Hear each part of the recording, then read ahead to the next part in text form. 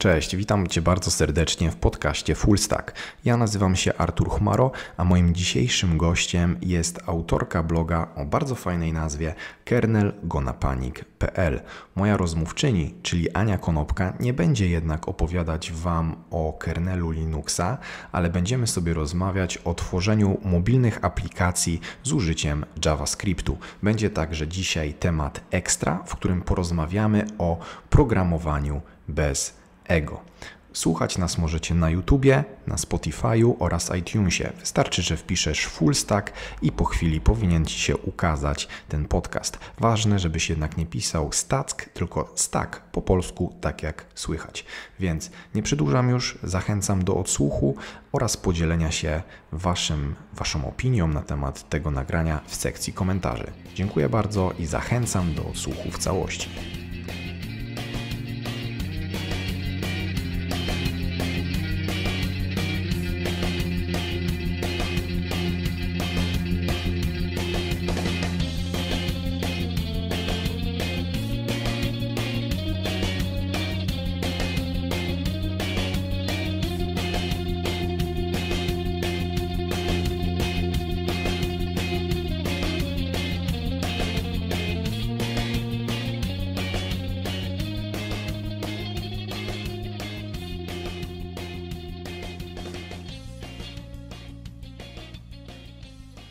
Hej wszystkim.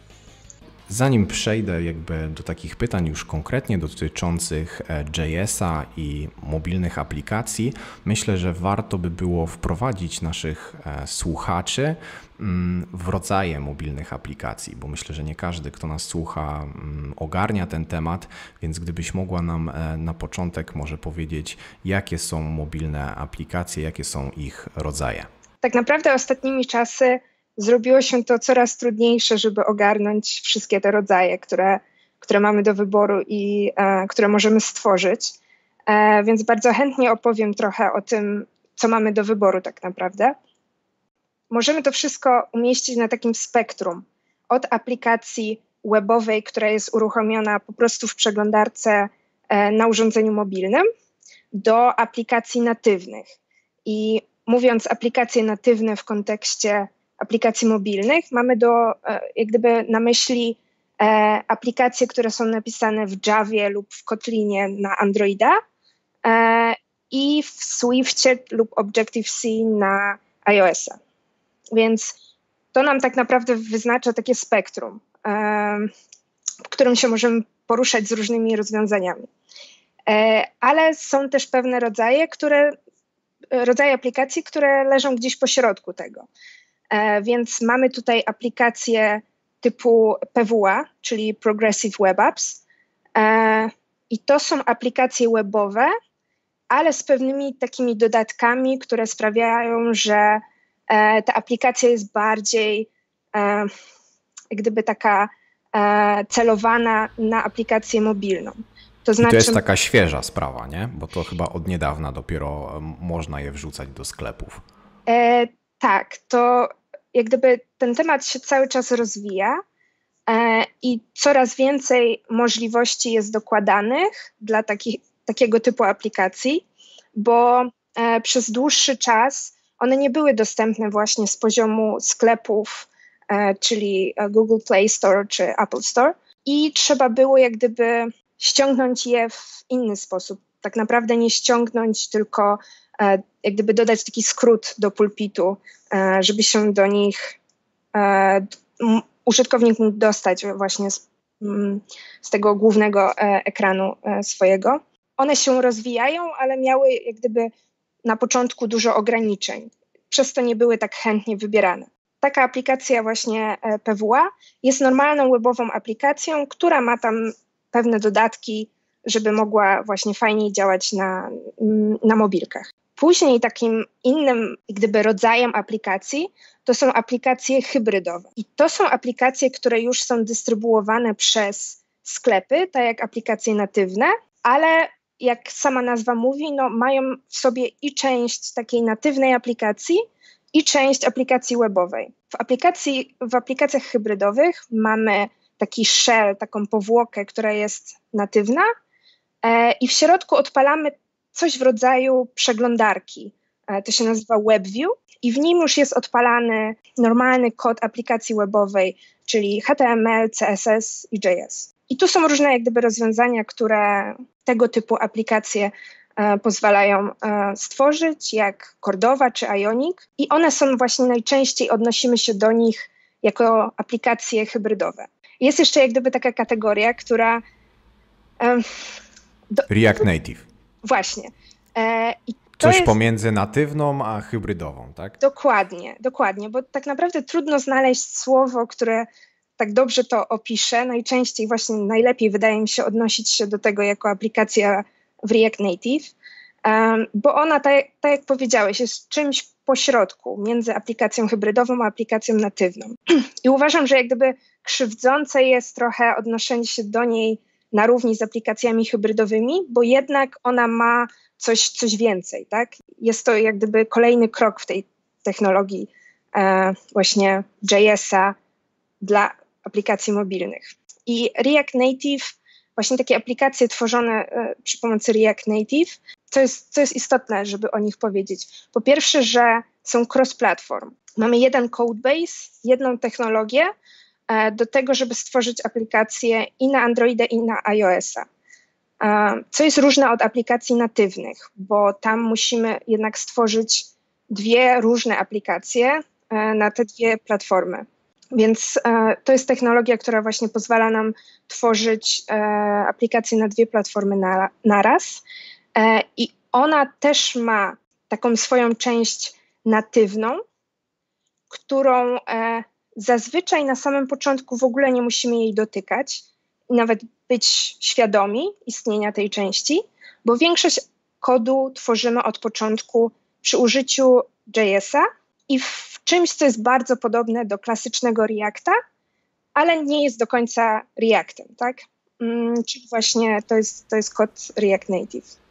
Okej, okay, a powiedz mi, czy, e, bo jednak e, wydaje mi się, że w branży jest takie mm, mocne podejście po macoszemu e, do tych właśnie aplikacji hybrydowych. Ludzie tak nie do końca wierzą, że one są w stanie zastąpić te rozwiązania natywne. E, I teraz chciałbym Cię w ogóle zapytać, e, jak Ty to postrzegasz? Czy, czy właśnie tworzenie tych aplikacji mm, e, mobilnych z użyciem JavaScriptu, to czy to nie jest trochę taki strzał w kolano? Jak wybieramy właśnie tą drogę? Dużo tego takiego złego PR-u dookoła aplikacji hybrydowych pochodzi właśnie od tego, że te takie klasyczne aplikacje hybrydowe, czyli te, które mają jak gdyby ten HTML, CSS, JS sobie, e, one zazwyczaj do tej pory miały zły performance i złą wydajność. E, mhm. To się już też zmienia e, i nawet te aplikacje hybrydowe są, są szybsze, ale wydaje mi się, że to zrobiło taki właśnie zły PR te, temu rozwiązaniu. I dodatkowo z mojego doświadczenia też wielu deweloperów takich aplikacji natywnych też patrzy na JS-a e, gdyby takim e, srogim wzrokiem.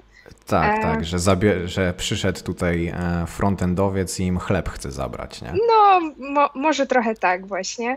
E, I też wydaje mi się, że trochę z powodu jak gdyby takiej nieznajomości całej tej technologii, bo no, dla frontendowców to jest bardzo bliskie i wszystkie te koncepty są znane i takie używane do tej pory na co dzień, a właśnie mm, z perspektywy deweloperów takich aplikacji natywnych, mobilnych, e, one no, nie są takie znane.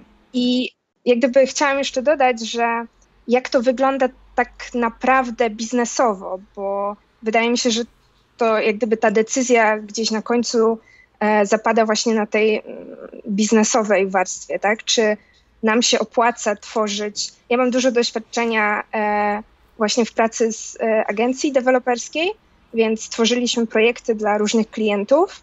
No i często była jak gdyby gdzieś na, na horyzoncie właśnie ta decyzja z perspektywy biznesowej, czy aplikacja e, w JavaScriptie natywna się opłaca, czy to jest dobry wybór dla nas tutaj. I wydaje mi się, że w wielu takich przypadkach aplikacji, które mm, nie są bardzo wymagające od strony performance'u, e, czyli e, nie są to jakieś obróbki zdjęć czy gry, takie rzeczy, które wymagają właśnie płynnych e, animacji, dużo elementów się rusza jak gdyby na widoku, to omijając tego typu zastosowania, czyli takie klasyczne na przykład aplikacje, sklepy, różnego rodzaju rzeczy, które Jakaś się... sprzedaż biletów na przykład na koncert. Na przykład, tak? tak. To w większości wypadków to jest naprawdę fajne rozwiązanie, e, czyli właśnie aplikacja w React Native, bo znacząco zmniejsza koszty developmentu takiej aplikacji. Bo... A jak wypali, to zawsze można przepisać. Dokładnie. Albo rozszerzyć tak naprawdę, bo mhm. istnieją też gdyby mm, na przykład Facebook, który gdzieś korzysta z tej technologii bardzo mocno. Z tego, co mi wiadomo, to w ich aplikacjach pewne części są wprowadzane w React Native, czyli mhm. jest też możliwość łączenia aplikacji takiej natywnej z aplikacją React Native, z fragmentami e, pisanymi w React Native każdym razie na pewno widać, że ten React Native się rozwija i daje coraz to lepsze możliwości i super też, że można, tak jak powiedziałaś, e, wplatać go e, w zasadzie do już istniejących projektów. To też na pewno może pomóc właśnie w podjęciu tej takiej biznesowej decyzji. Tak, chociaż wydaje mi się, że mm, firmy, które już mają aplikacje e, natywne w Androidzie i w iOSie, im jest trochę dalej do takiej decyzji niż na przykład biznesom, które e, są startupami, zaczynają coś, e, nie są pewni do końca, że to jest dokładnie to, co powinni zrobić ta aplikacja. Więc React Native daje dużą swobodę, jak gdyby tutaj tego developmentu. E, łatwiej jest nam iść szybko do przodu, więc startupy to mm, myślę, że jest taka grupa która bardzo korzysta właśnie z tego typu technologii. Żeby nie było tak kolorowo, że React Native e, i ogólnie aplikacje pisane z użyciem e, JavaScriptu to jest zawsze dobre rozwiązanie, to może gdybyś mogła się podzielić z nami na przykład problemami, które napotkałaś na swojej drodze w trakcie tworzenia takich aplikacji? Takim jednym z problemów wydaje mi się, że jest ten system, przynajmniej kiedy ja tak bardzo jak gdyby e, mocno w tym siedziałam i byłam zaangażowana, e, to to, że ten system jeszcze miejscami nie jest do końca e, dojrzały i brakuje pewnych takich rozwiązań, które byłyby dobrze przyjęte i używane przez całe community. Dobrze znanym, wydaje mi się, przykładem odnośnie React Native jest problem z bibliotekami do nawigacji, ponieważ jest wiele rozwiązań, zarówno korzystających z takiej natywnej nawigacji, jak i próbujących odtworzyć ją po stronie JavaScriptu, ale żadne z nich nie jest, a przynajmniej nie było takim czymś, co można powiedzieć, że to jest takie rozwiązanie dobre już, e, które możemy po prostu spokojnie sobie używać. Tak? Każdy miał jakieś problemy. Więc to świadczy o tym, że jak gdyby React Native nadal cały czas się rozwija, no i czasami można natknąć się na jakiś właśnie taki problem związany z tym, że, e, no, że jeszcze ktoś tego tak dobrze nie napisał, tak? Mm, jakiegoś mm. rozwiązania. Kolejną taką rzeczą, o, która mi przychodzi na myśl, jest to, że mimo tego, że ta aplikacja w większości zazwyczaj um, będzie stworzona przy pomocy JavaScriptu, czyli takiej, no jak gdyby technologii, która dla frontendowców jest e, znana i nie ma z nią problemów. E, I przez to, jak gdyby bardzo często frontendowcy będą ją właśnie przy użyciu React Native pisać, to są takie momenty, w których jednak, by zrealizować tą funkcjonalność, którą chcemy uzyskać, potrzebujemy napisać kod natywny. E, mhm. Ponieważ aplikacje w React Native e, umożliwiają nam, żeby dobrze manipulować takimi systemowymi API, mm, napisanie swoich modułów, które mają część natywną i część w JS-ie i możemy się między nimi komunikować. Mhm. I jak gdyby to jest często wyzwanie, ponieważ dla osób, które no, pracują na co dzień w JavaScriptie, konieczność napisania e, na przykład części kodu w Kotlinie i części w Swiftie, ponieważ no, musimy jak gdyby przygotować ten kod na obie platformy, może być dużym wyzwaniem, żeby, żeby to zrobić. Czyli już e, w tego typu sytuacjach, kiedy potrzebujemy trochę tego natywnego kodu, no to już najprawdopodobniej trzeba się posiłkować pomocą kogoś z zespołu albo z zewnątrz, kto ma wiedzę dotyczącą e, Swifta czy, czy tam e, Kotlina, czy to bardziej jest na tyle, nazwijmy to, przystępne, że nawet ktoś, kto nie ma styczności z tymi językami, jest w stanie coś tam sobie dopisać? Znaczy, szczęściem jest to, że bardzo dużo takich modułów już jest udostępnionych open source. Czyli mhm. Jest bardzo duże prawdopodobieństwo, że jeżeli coś, e, czegoś potrzebujemy, to może już ktoś to napisał i udostępnił, więc możemy z tego skorzystać. O, to szybkie mam, szybkie mam pytanie, wiesz, bo mhm. ostatnio myślałem na temat zrobienia sobie apki w React Native i e, nawet tego nie zgooglowałem, to nie wiem, z wczoraj pomysł. E, jest jakiś taki plugin, który pozwala na przykład skorzystać e, z tego mechanizmu Touch ID, co jest e, w iPhone'ach, na przykład, że przykładam kciuka i jeżeli kciuk jest prawidłowy, to mogę coś zrobić e, w swojej apce. Mm, wiesz co, e, trudno mi jest powiedzieć z głowy, ale właśnie, mhm. właśnie to wygooglowałam. Jest e, biblioteka, która się nazywa React Native Touch ID. Nie wiem, jak, mhm. jak jest jej, jaka jest jej jakość e, mhm. i czy no tak. to jest coś, co użyłabym w e, produkcyjnym kodzie, bo jak gdyby zawsze powinno się, się to sprawdzić, ale jest coś takiego, więc. Mhm. Czyli tutaj widzę, że jest trochę taka podobna sytuacja jak z Apache Cordowa, bo ja akurat miałem tylko styczność e, z tym, jeżeli chodzi o takie mhm. technologie webowe i tam faktycznie też jest podobnie, że jest sporo jakichś tam pluginów, ale no trzeba je nieźle po prostu sprawdzić przed użyciem, bo no potrafią wyjść niezłe kwiatki, nie? że na niektórych urządzeniach coś kompletnie w ogóle nie działa albo działa inaczej niż to zakładaliśmy. Tak, mm, tak, bo tu już w grę wchodzi właśnie kod natywny. E, to może się zachowywać różnie na różnych platformach. Jeszcze tak wracając do tego, co powiedziałeś, mhm. że konieczne jest szukanie pomocy, e, to wydaje mi się, że czasami tak e, i warto jak gdyby na to jak gdyby tej pomocy poszukać, ale wydaje mi się też, że taki ambitny frontendowiec, jeżeli mógłby, wiesz, może się posiłkować jakąś wiedzą z internetu, mhm. też dałby radę coś małego. Coś tam się naklepie zawsze. Tak, e, zrobić.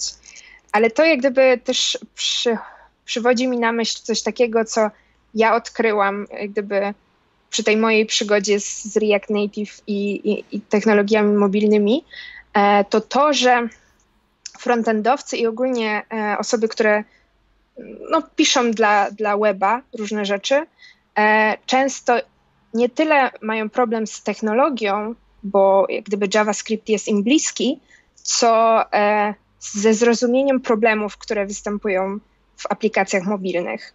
Mhm. Mm, I dla mnie to była taka największa jak gdyby e, rzecz, której się musiałam uczyć w trakcie pisania takiej aplikacji, żeby mieć świadomość tego, z jakimi problemami się człowiek mierzy, e, robiąc aplikację mobilną. Masz może jakiś taki przykład, który ci teraz tak przychodzi do głowy, co było dla ciebie takim, nie wiem, mega zdziwieniem, czy mega takim um, jakby kluczowym momentem, że zrozumiałaś, kurde, ja już tutaj nie robię aplikacji webowej, gdzie wrzucam jakąś kontrolkę i to po prostu działa, tylko jestem na urządzeniu mobilnym i tu nie wiem, trzeba poprosić o jakieś prawa dostępu, trzeba to tam jakoś e, odpowiednio e, przedstawić w sklepie, jakiś, nie mhm. wiem, tutorial zrobić. Pamiętasz taki moment? Coś, co mnie bardzo zaskoczyło, e, że, że taka rzecz jak gdyby może być takim wyzwaniem dla mnie, było na przykład to, że um, aplikacje webowe, przez to, że mamy dostęp do przycisku refresh, mają względnie krótki czas życia, e, jak gdyby dla użytkownika. To znaczy, jeżeli coś pójdzie nie tak, coś się zepsuje, coś się źle wyświetli, to użytkownicy są przyzwyczajeni do tego, że mogą odświeżyć stronę No I- tak. wszystko powinno się wyprostować i wrócić do normy. A aplikacje mobilne mają e, dużo dłuższy czas takiego życia i działania ciągłego. Nie ma tego momentu resetu, bo bardzo często aplikacje żyją bardzo długo, są otwarte, e, tylko działają gdzieś w tle. E, I jak gdyby trzeba mieć to na uwadze e, w momencie, gdy e, na przykład możemy mieć problemy z e, synchronizacją stanu danych naszej aplikacji, Mhm. bo coś poszło w tej synchronizacji źle i jakiś, wprowadziliśmy jakiś błąd. Tak. I teraz powinniśmy mieć jednak jakieś mechanizmy, które pozwolą nam to wyprostować, odświeżyć, synchronizować. E, Mhm. Bo tak jak powiedziałam, w aplikacjach mobilnych nie ma przycisku refresh, który, tak jak w przeglądarce, który nam po- pomoże to jak gdyby mm, naprawić. Mhm. E, Mhm. No i pamiętam, że to mnie bardzo tak zaskoczyło, bo nie myślałam o tym, że to może być problemem, tak. E, Więc to są takie zmiany, konieczne zmiany, jak gdyby myślenia, zrozumienia platformy, na którą tworzymy, tak. To- No trzeba ten taki mindset sobie przestawić po prostu na, na to, że jednak no, nie jesteśmy już w przeglądarce. Nie? Dokładnie, dokładnie. I jak właśnie jesteśmy przy tym mindsetie, to też taka druga rzecz, co od, oprócz tego, co powiedziałaś, co przychodzi mi na myśl, co znacząco się różni w sytuacji, gdy robimy aplikacje mobilne, e, to jest e, problem testowania, tak? Bo jednak w sytuacji, gdy jesteśmy web deweloperem, e, no to mamy do czynienia z Firefoxem, z Chromem. Zwykle te mm, przeglądarki mają już teraz automatycznie, domyślnie ustawione aktualizacje, więc wiele problemów e, mamy z głowy. Internet Explorerem już większość ludzi na szczęście się nie przejmuje. E, No ale tutaj mamy świat mobilnych telefonów, tak, których jest e, setki albo tysiące. Mogą być stare, mogą być nowe. Ekran może mieć 4 cale, może mieć jeszcze więcej cali. I jak, jak tutaj wyglądają Twoje doświadczenia z ugryzieniem tematu no, testowania tych aplikacji, czy one w ogóle na niektórych urządzeniach się nadają, tak? Bo Mhm. wiadomo, wszystkich do biura telefonów świata nie przyniesiemy i nie przetestujemy. No tak, e, testowanie ogólnie aplikacji mobilnych jest, wydaje mi się, dużo trudniejsze niż e, webowych. Szczególnie teraz, gdy web tak naprawdę bardzo mocno, e, w mojej opinii, już się zunifikował. To znaczy, są nadal różnice, tak, ale nie mamy właśnie takich kwiatków w stylu IE8 czy 6, które bardzo odstają, tak? E, Są, są różnice, ale to nie jest jeszcze już nie jest takie szalone, jak było kiedyś. E, No a tak jak powiedziałeś, w aplikacjach mobilnych mamy właśnie różne urządzenia i tak naprawdę, żeby być pewnym, że na wszystkich urządzeniach działa to poprawnie, to powinniśmy byli odpalić tę aplikację na wszystkich urządzeniach, co no, z perspektywy właśnie takiej finansowej czy praktycznej no, mo- mogłoby być trudne. E, Ja mam tak naprawdę, em, jeżeli chodzi o technologię em, testowania takich aplikacji mobilnych, miałam do czynienia z dwoma rodzajami testów. Dla naszej aplikacji pisaliśmy testy jednostkowe w Jeście e, i to tak naprawdę no, nie odstawało dużo od e, pisania testów jednostkowych dla aplikacji webowych. Em, I jak gdyby wydaje mi się, że tutaj no, to było po prostu bardzo, bardzo podobne. E, Również korzystaliśmy z e, snapshot testowania e, właśnie z użyciem Jesta. A drugą, e, drugą taką technologią było, był Detox. E, I to jest technologia do przeprowadzania testów e, end-to-end e, na aplikacjach mobilnych. I ona aktualnie jest tylko dostępna dla iOS-a na emulatorach, czyli tak właśnie lokalnie na komputerze i na prawdziwych urządzeniach. I jest support dla Androida w trakcie, z tego co wiem. To są takie testy typu Greybox, czyli um, podobne do jak gdyby schematu, e, w którym działa również Cypress, e, czyli mm, ten framework testujący wpina się trochę w nasz emulator czy naszą przeglądarkę, e, żeby mieć więcej wiedzy odnośnie tego, kiedy na przykład request się kończy, albo kiedy ona przestała renderować nam stronę, żeby ograniczyć takie błędy w testach wynikające z tego, że e, coś trwało troszeczkę za długo, albo coś, coś się wyrenderowało właśnie za późno, które na przykład e, są popularne w Selenium. Czyli, czyli detox, tak e, żebyśmy tutaj to uszczegółowili, działa podobnie jak Selenium, tak? Czyli, że jakby odpalam swoją apkę na konkretnym emulatorze e, i mogę pisać testy w taki sposób, że na przykład kliknij e, w baton, który ma label na przykład confirm później tak. kliknij w coś tam, tak? I sobie asercję piszę i, i na końcu po prostu e, mogę wybrać e, na jakim emulatorze, z jakim parametrem chcę te testy przeprowadzić. Czy to będzie, nie wiem, iPhone 8 czy 7, tak? Mhm, dokładnie. E, z tą różnicą, że właśnie pod spodem to troszeczkę ma większą wiedzę niż właśnie na przykład Selenium odnośnie tego, kiedy różne rzeczy mają miejsce, co pozwala nam pisać testy, które są takie odporniejsze na właśnie takie randomowe e, problemy. Bo często właśnie e, z technologiami bazującymi na Selenium taki problem występuje, że. Tak, trzeba pisać slipy. Dokładnie. Jeżeli chcemy mieć pewność, że te testy będą takie e, no, w miarę stabilne, prawda? E, a tutaj to, to jest jak gdyby łatwiejsze. Nie trzeba tak slipów właśnie dodawać. No, slipy to jest straszna rzecz. Ja też napisałem się trochę takich testów e, kiedyś tam w Selenium, w Kapibarze i to było naprawdę e, straszne. Teraz niby to jest właśnie jakoś e, lepiej zrobione, mm, bo, bo już są jakieś takie, mm, nie pamiętam jak to się nazywa, ale to jest jakiś taki WebDriver czy coś takiego, że, że po prostu też przeglądarka ci daje właśnie dostęp do takich ukrytych funkcji, e, które określają, co tam się dzieje teraz właśnie z oknem, czy na coś czeka, czy tam nie czeka. E, więc e, to już jest chyba e, takie nieco przestępniejsze. A chciałem się jeszcze Cię zapytać, bo to też jest myślę częste pytanie o takie aplikacje.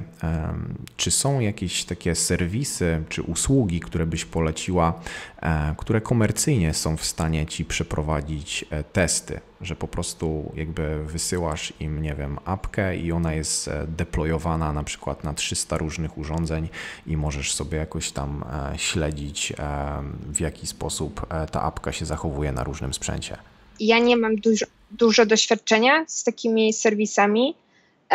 Jak gdyby z naszej obserwacji takie testowanie w chmurze przede wszystkim jest całkiem drogie my e, sprawdzaliśmy rozwiązanie bodajże na Circle, na Circle CI, tylko e, tam wchodzi w grę to, że musi e, maszyna, która przeprowadza te testy, musi być maszyną z iOS-em, żeby móc, to jest ogólnie problem właśnie dewelopowania React Native i na mm, sprzęty Apple'a, bo musimy mieć maszynę E, z mhm. iOS-em, żeby to zrobić. Tak, bo oni e, się nie zgodzili na wrzucenie tego chyba tam e, na wirtualne maszyny, nie? No, nie ma możliwości takiego, takiego legalnego i w pełni e, dobrego sposobu na to, żeby poza takimi właśnie środowiskami dewelopować e, tego typu aplikacje. E, no, więc ta opcja na Circle CI gdzie, gdzie to sprawdzaliśmy, była już znacznie droższa, żeby, żeby to zrobić. E, I też jak gdyby e, tam się płaci od czasu, przez który te testy są odpalane, e, więc no, to też jest duży nakład, jeżeli jeszcze chcemy różne, um, różne właśnie urządzenia przetestować, to, to sporo tego wychodzi. Mm, więc ja nie mam więcej doświadczenia z tym, e, bo nie mam ogólnie doświadczeń z automatyzacją e, tego procesu wypuszczania apki i budowania jej w chmurze, chociaż wiem, że jest to dostępne. E, I jeżeli już jesteśmy na takim etapie, gdzie to nam się opłaca i już ta aplikacja nasza jest bardziej zaawansowana, częściej ją wypuszczamy, to myślę, że to jest fajna rzecz żeby ją jak gdyby zautomatyzować ten cały proces um, jej dostarczania do, do sklepów. Mhm, mhm, super. Zanim przejdziemy do drugiego tematu, z którym chciałem e, dzisiaj tobą, z Tobą poruszyć, e, to jeszcze takie szybkie pytanko. E, załóżmy, że ktoś nas teraz słucha i ktoś zapragnął tworzyć aplikację z użyciem JS-a, to co byś radziła takiej osobie? Gdzie byś ją skierowała? Od czego powinniśmy zacząć, jeżeli chcemy e, zrobić mobilną apkę z użyciem JS-a? To wydaje mi się, że po prostu w kierunku e, strony React Native. Mamy tam do dyspozycji tutoriale, e, jak zacząć. Przede wszystkim wydaje mi się nie bać się tego, bo to jest naprawdę bardzo zbliżone do tego. Jeżeli ktoś ma doświadczenie z Reactem, to naprawdę będzie mu bardzo łatwo zacząć. A jak ktoś nie ma doświadczenia za dużego w Reakcie, to trochę za głęboka woda, czy e, warto spróbować? Wydaje mi się, że warto spróbować. Ja, e, jak gdyby zaczynając właśnie z React Native, e, stwierdziłam, że chciałabym też spróbować trochę mieć natywnego doświadczenia, żeby rozumieć pewne rzeczy bardziej. E, I zaczęłam swoją przygodę z pisaniem i programowaniem e, Androida natywnie w Kotlinie czy w Javie. I dla mnie to było naprawdę dużo trudniejsze do zrozumienia tych konceptów, które tam się pojawiają, niż, niż React Native. Więc polecasz, można, można zacząć sobie, nawet jeżeli się nie ma jakiegoś mega doświadczenia w, jako React developer, to można zerknąć i coś tam spróbować sobie po prostu zakodzić. Mhm. Również tak teraz mi się przypomniało i wydaje mi się, że warto o tym powiedzieć.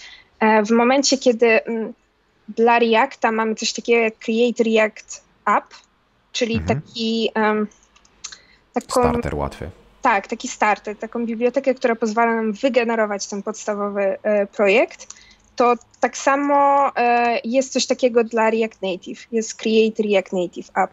Mhm, e, więc to może być coś, e, od czego warto zacząć.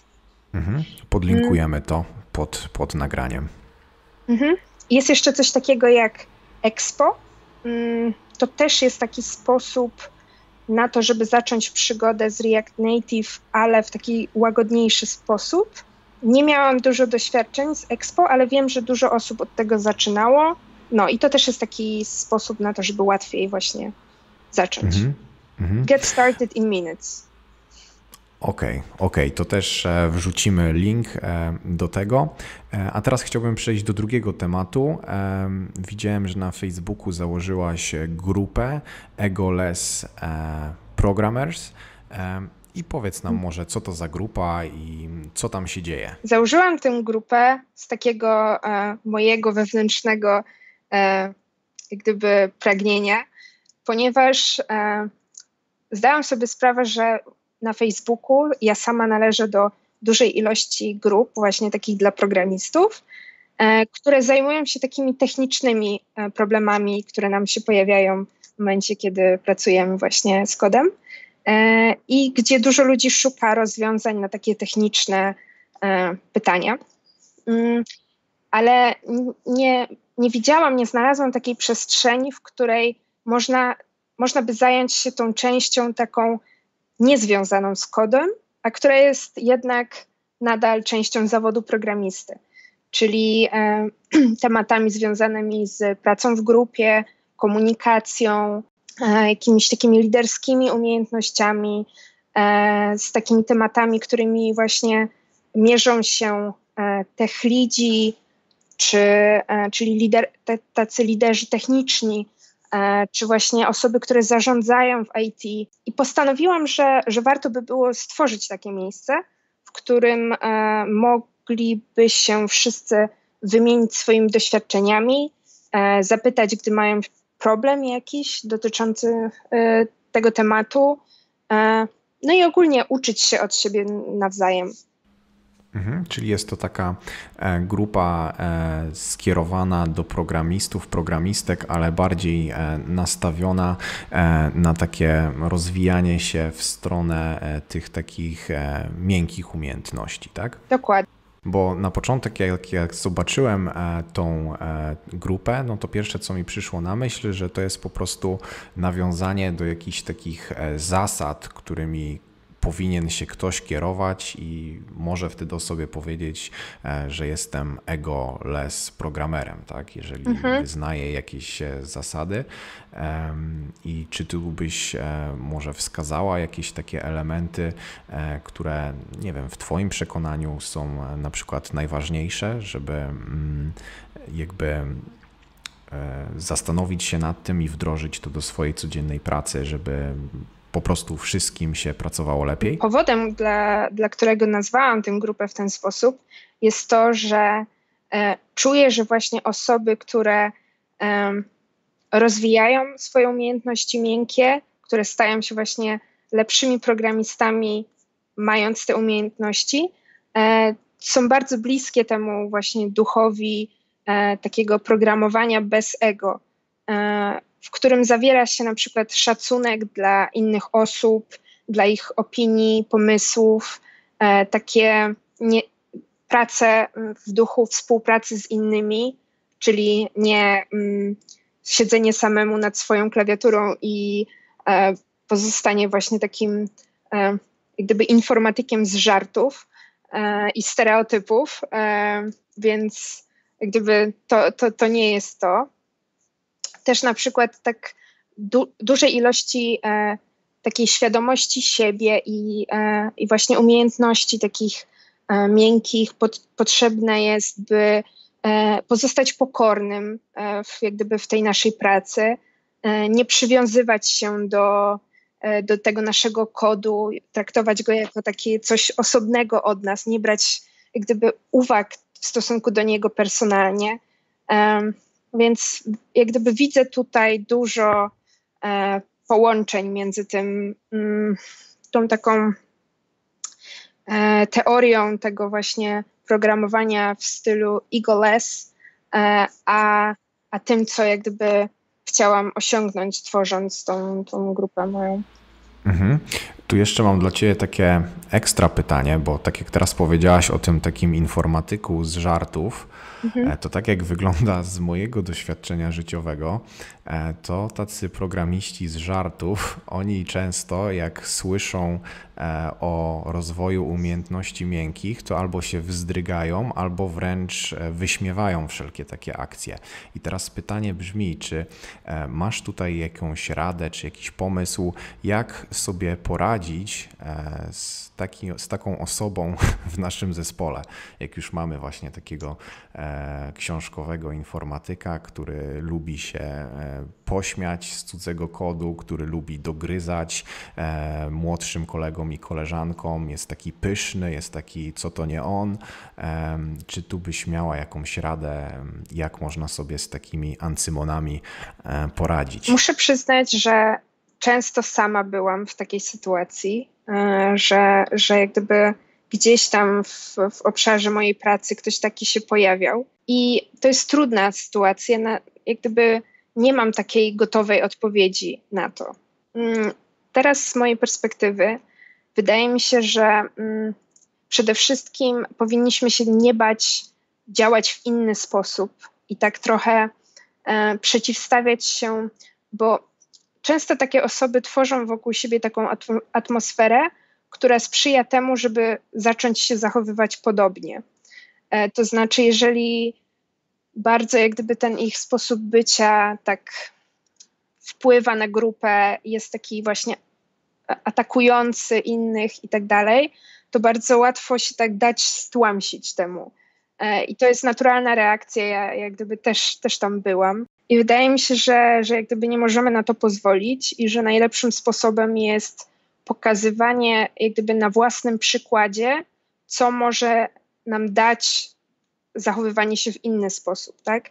Jakie to ma konsekwencje w, na, na to, ile dowozimy, e, takie właśnie biznesowe konsekwencje tego, takiego, takiej pracy w, e, we współpracy z innymi, poszanowaniu innych. Nie mam jak gdyby na to gotowej odpowiedzi. Tak, to są bardzo, to już wiesz, to jest ciężkie pytanie, bo jednak e, z, z, takimi osobami e, ciężko się rozmawia na nawet techniczne tematy, a co dopiero jak właśnie trzeba im zwrócić uwagę i po prostu im powiedzieć, że słuchaj, e, jesteś toksyczny, ludzie nie chcą z tobą pracować, stwarzasz tutaj niemiłą atmosferę, a możesz łatwo to zmienić, prawda? Więc tutaj nie mhm. spodziewałem się takiego remedium które mhm. zadziała w każdym przypadku, ale też byłem ciekaw, e, jak e, właśnie ty e, na to patrzysz. Więc myślę, że zapraszamy wszystkich na grupę Egoless Programmers.